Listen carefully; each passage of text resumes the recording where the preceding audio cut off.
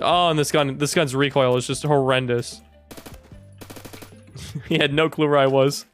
What's up, Naruto man? How you doing, man? You like the show, Mr. Naruto man? I'm rewatching the entire show.